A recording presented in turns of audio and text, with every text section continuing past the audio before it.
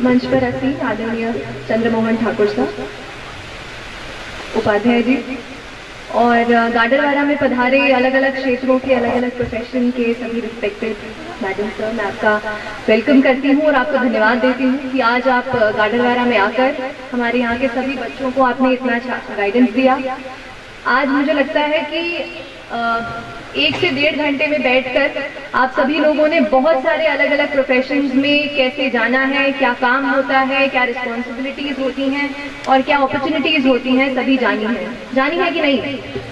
काफ़ी कुछ जानने को मिला।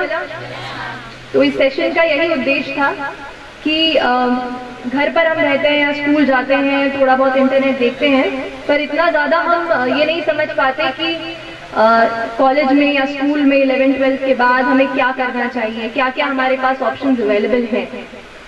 कई बार हम किसी एक क्षेत्र को ही देख रहे होते हैं डॉक्टर को इंजीनियर को तो लगता है वही ऑप्शन हमारे पास है।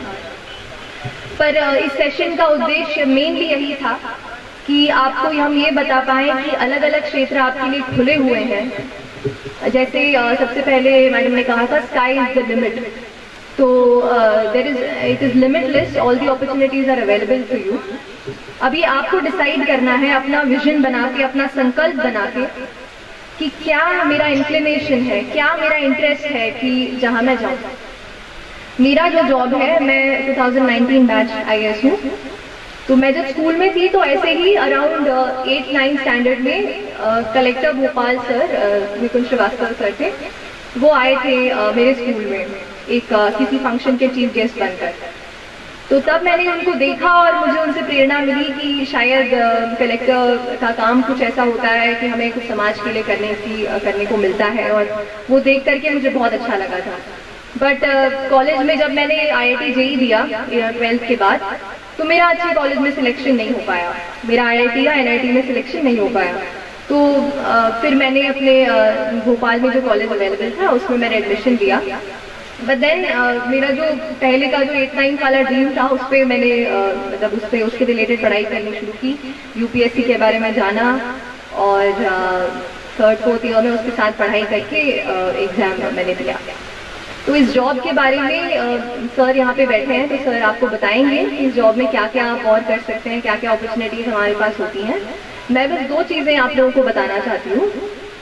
फ़र्स्ट चीज़ है very important is time management जितने भी लोग यहाँ पे बैठे हैं, मंच पर आसन या जो उधर है, हम सभी के पास दिन के 24 घंटे ही होते हैं।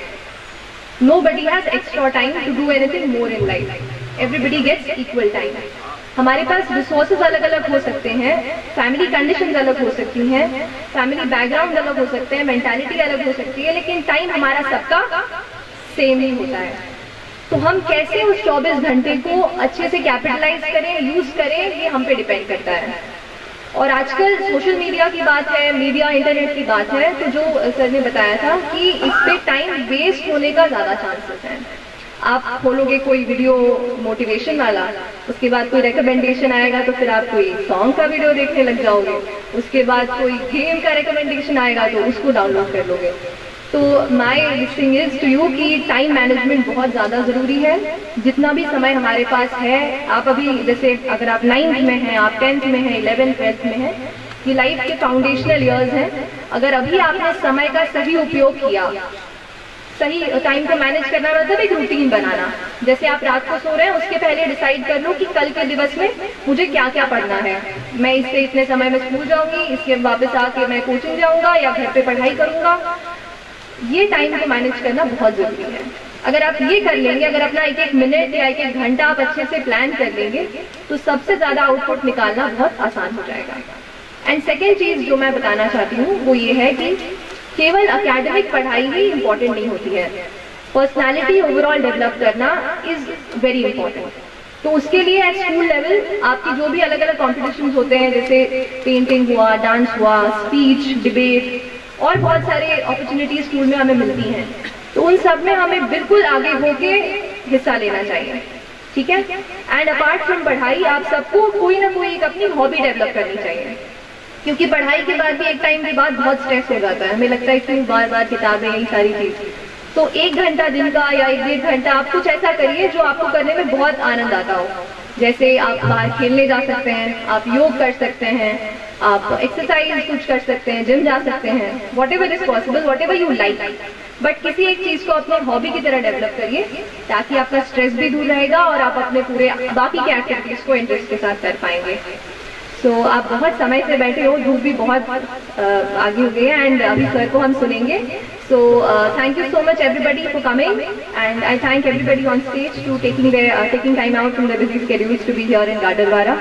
Thank you so much.